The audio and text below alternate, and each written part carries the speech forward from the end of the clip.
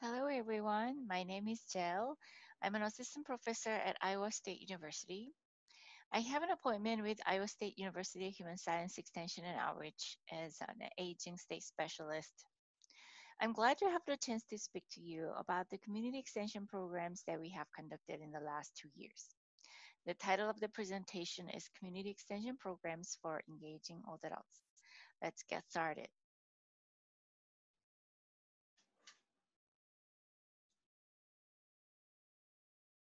Before I delve into this topic, I'm going to share a story that you may have heard about.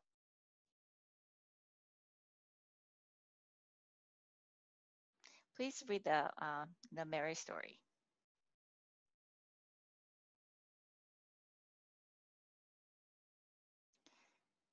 Okay, um, sounds familiar? As you can imagine, Mary's situation is not foreign to us. In fact, Many older Iowans prefer to live and to age in their own place rather than moving into other facilities or nursing homes. What do these old adults do when they are still healthy and independent and live in their own home? If they want to age in place rather than moving into facilities, what are the steps old adults need to do or to um, what are the steps they need to take to make sure that they receive the care they need in their home? Today, we'll discuss our efforts to address this issue, how to help older adults to navigate their care network as well as their current living environment. As I mentioned earlier, when we get older, we need help or coordination in several areas. Their house may need some modification. The cooking situation may not be ideal. Also, they may need some help and guidance in making health or financial decisions. Let's begin first defining what the future care planning means, which is what I'm going to talk about today. Future care planning is defined as consideration of financial, medical, personal health, and environmental support for future needs due to chronic illness or health events that would threaten their independence. That is, future care planning can be broadly defined as an information seeking and decision-making framework with the purpose of maintaining good quality of life as old adults face health events and care needs. Then you may wonder why future care planning? Why is it necessary? Well, research has shown several negative outcomes without having any future care planning. But also the studies show that there are positive outcomes with future care planning as well.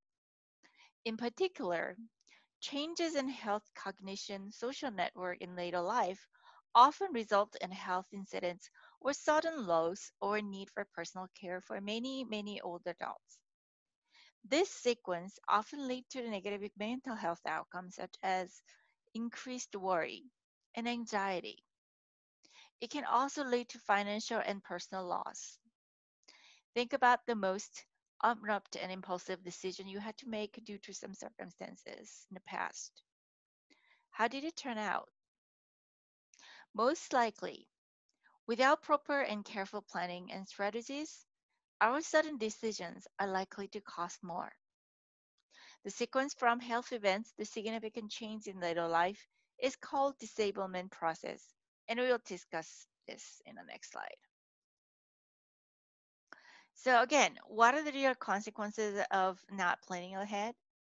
This cascade, effect from illness to disablement process has been noted in the literature. In particular, prior studies have indicated that minor health incidents, such as fall or ear visits, often accelerate the process of disablement and also moving to assisted living facilities.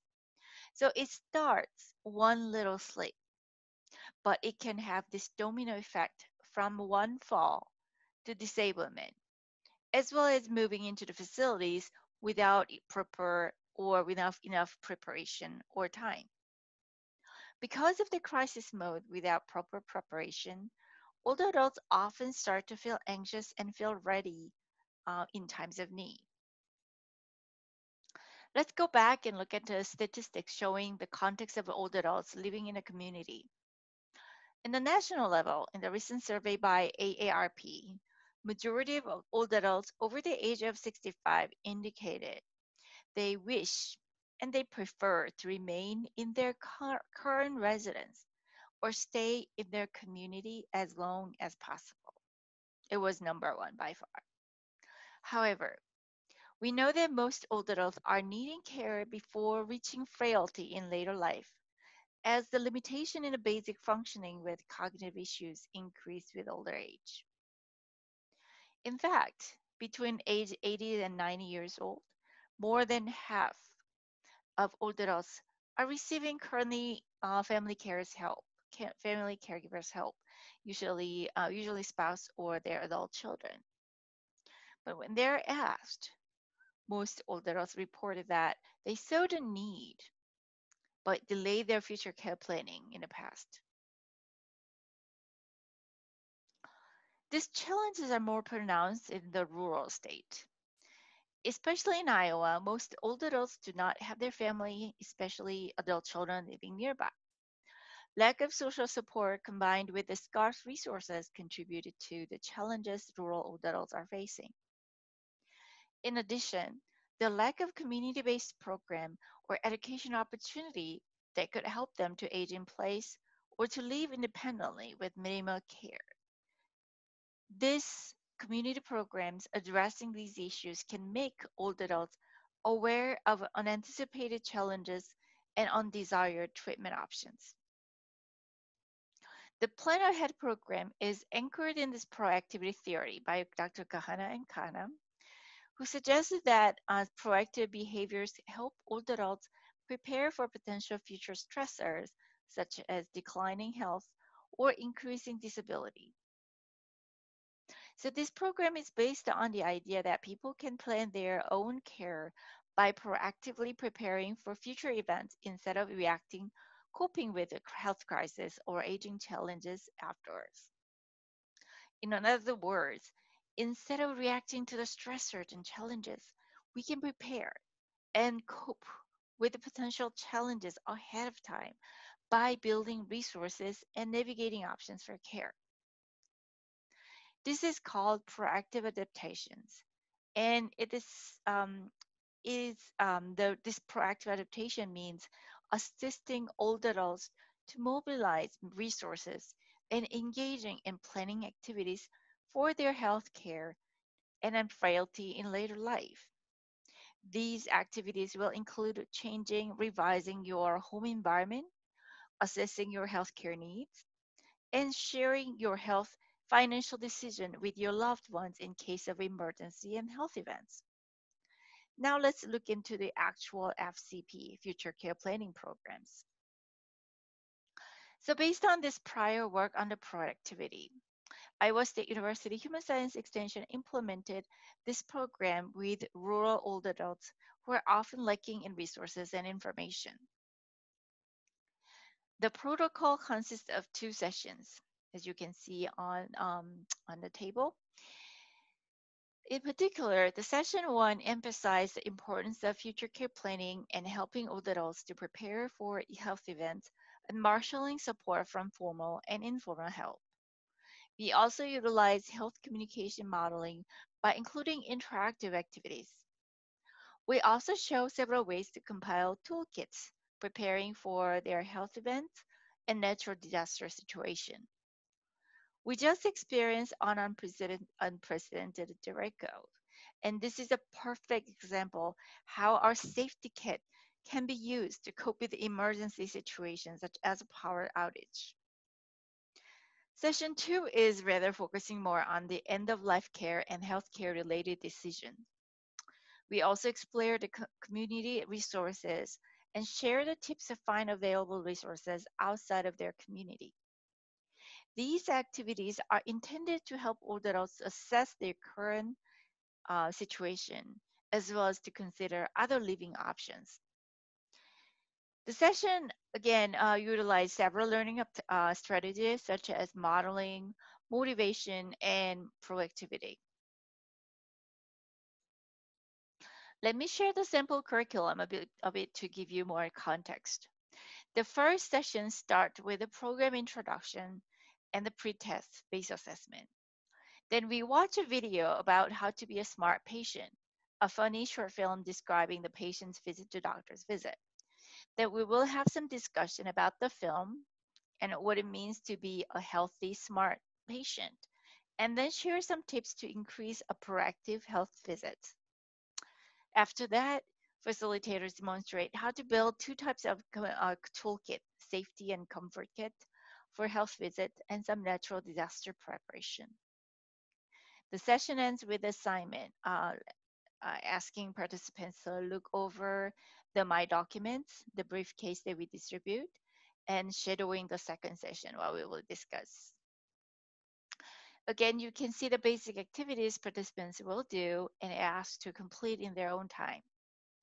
These activities are assessed again by the second assessment and a one month follow up. Okay, so these are the study aims that we had uh, for this study. So we wanted to determine the acceptability and feasibility of the program. We also wanted to assess the effectiveness of the program. And finally, wanted to see whether the program was satisfying for participants as well as their uh, facilitators. We also used the following measure to assess feasibility and acceptability of the program and program impact on psychological state among participants.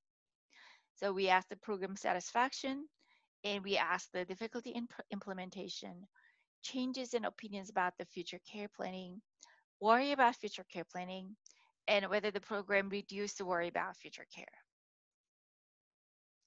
In terms of assessing future care planning activities, we asked the following whether they had a conversation with doctors about future care planning, whether they have had a discussion with friends and family about future care planning, preparing the list of a medication, and finally, preparing the list of contact persons in case of emergency. We did, we did ask this question beforehand, before we start the program. It is interesting to note that most participants had prepared a medication list in the past and completed a list of contact persons for healthcare. And more than half of the participants, 50%, had discussed FCP, future care planning, with their family and friends beforehand. But it was interesting that only 90, uh, 29% of the participants had discussed how to prepare for their future care with their doctors. We also assessed the resource building after the program. Um, after the program, um, participants reported whether they reviewed the information in their My Document briefcase and whether they started assembling a comfort bag as a preparation for hospital or ER visits. Participants' resource seeking was also measured before each session and the second follow-up. They reported whether they compared different community options for obtaining health, uh, help, uh, or care in the future, and whether they gather information about options for care by talking to their family members. Participants were also asked to report their level of competence in preparation for future care before the first session of the program. So the level of a participant's competence was measured using these three items with binary options the level of competence was calculated by summing their answers to these three items.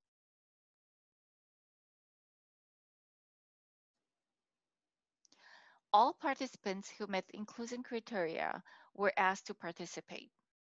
The inclusion criteria were um, age, age, age, um, adults age 60s and over, and also they had to live independently in the community they should speak English, uh, speak and write in English, and express a willingness to take part both in person and phone surveys. We conducted these community extension programs at Iowa State University Extension Outreach Office or any local organizations such as church or library that older adults could easily access. Cooperative extension specialists recruited participants from the community and led the sessions. We collected the data from the participants using self-administered questionnaires and short follow-up short follow-up telephone questions. After the screening procedure, we found uh, we had a 234 eligible participants at baseline. As I said, uh, we use the competence measures, and based on that measure, we split the uh, participants in half. So half of them were considered as high competence, the other half were low competence. Generally, high competence group were more likely to be older, white, female, and less likely to be married. Their health status was also better than the low competence group. Inter interestingly, there were no differences in education level. As mentioned earlier, we were specifically targeting rural old adults, but some specialists were eager to recruit urban areas, so include them as well. We used ISU, uh, Iowa State University Indicator Portal to differentiate rural and urban area. The stars on the map roughly indicate where the program was implemented. We consider the dark shade, darkest shade, about 34,000 people or more per county as urban. In general, we piloted the study uh, across 20 different sites, half urban and half rural, so you can see that our study was split pretty evenly across urban and rural context. So our first aim is to determine the acceptability and feasibility of the program. Given that we were interested to learn that whether the program was similarly received um, on the, based on the competence level, I'll present the findings based on these two group differentiation. So as you can see, we found that most participants, regardless of their competence level, reported that they perceive a high need for future care planning after the program. This shows that core idea of future care planning was acceptable for most participants. In terms of feasibility, most participants rated that it was not that difficult as expected, a higher competence group reported lower levels of difficulty in implementing the program compared to the low competence group, although the difference was not significant. Both groups also rated the program provided much needed and useful information, and there was no difference between these two groups. Our second aim of the study was the actual impact of the program by assessing effectiveness of the program. Specifically, we examined the implementation of planning activities. So we kind of changed uh, or assessed, uh, assessing the behavior change over time. Also, we changed, uh, we examined the changes in worry and attitudes towards future care planning. As a repeated measure general linear model analysis show the significant changes in the number of um, activities across three time points. And I'm presenting the same results, but just breaking down to the competence level. Although the completion rates were higher for high competence group, you can see that both groups show significant change over time in completing future care planning activities. In terms of resource building, we have observed a significant change across time points regardless of the competence level. For making their comfort bags in case of healthcare emergencies, 40% of the high competence group and 42% of the low competence group assembled a comfort bag according to the suggestions in the program. Similar patterns were found in reviewing my briefcase document, including Advanced Care Directive documents. After the completion of the program, majority of the high competence group, 95%, and low competence group 95% received uh, the document and reviewed the documents and made their my document briefcases. The McNemar uh, test revealed the percentage of participants who searched for uh, community resources and options um, significantly increased, and it was for both groups. Similarly, in the base assessment, 70% of the high competence group and 38% of the low competence group had discussed healthcare information with the family. After the completion of the program, both group reported increase in their discussion with family members, but the change was more pronounced in the low competence group. Now let's look at the psychological impacts such as changing attitudes and worry.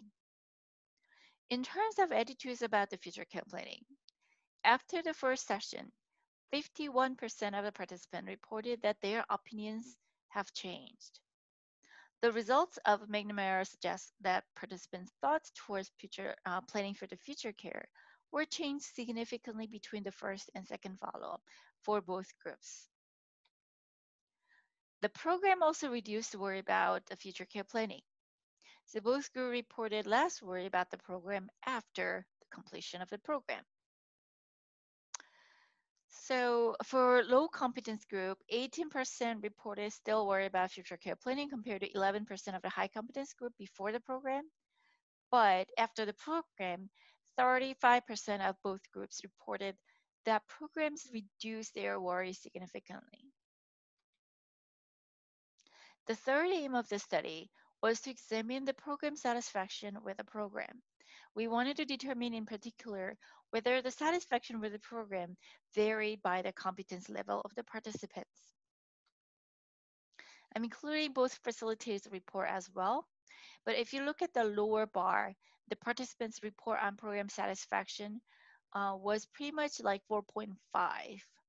And if you look at the facilitator's report on satisfaction, and it actually scored from one to four for the facilitator side. Um, as you can see, both uh, facilitator and participant, uh, they were both satisfied with the programs. So, in conclusion, the result of this pilot study suggests that future care planning is a feasible intervention that promoted proactive planning competencies in older adults. Interestingly, we found that acceptance and feasibility was similarly found regardless of the competence level among participants. A critical question is how long these improvements last. Although our short-term follow-up shows promising results, we need to ad uh, address sustainability of the effectiveness with a longer follow-up. Fi finally, I'd like to point out that this was not a randomized controlled trial. So it would be nice to have a little uh, uh, RCT, uh, randomized control trial, to evaluate the comparative effectiveness. And there are several caveats and limitations of this study that is worth to mention. First, the findings are limited to Iowa, so it needs to be replicated in other states as well. Second, we do not have any control group. Again, this change that we have observed could have been just due to natural change. Third, even in the state of Iowa, we did not control for any regional, uh, regional differences. We are planning to look at the uh, differential uptake of the intervention depending on the disparity in resources across regions in the future. Fourth, we did some racial differences in the uptake of intervention, but it was somewhat reflection of the baseline differences. In fact, uh, one of my students actually um, racial difference uh, is actually take a look at the racial differences in future care planning. Finally, I cannot emphasize enough about the importance of facilitators' competence. There are extension outreach specialists whose teaching experience is over 20 years old, and their level of competence may have contributed to the successful implementation and outcomes of the study. In case if you're interested in our references, here are the list of the publications that I have included in the study. And I'd like to acknowledge the following. Iowa State University Extension Outreach, who sponsored the program, an extension field specialist who facilitated the program, and they are the real champions. And I'd like to thank three students who have worked on the data coding, analysis, and helping out many tasks, Dahi, Luis, and Natasha. Thank you. And thank you for your attention. And I will open up the, um, the room for the questions.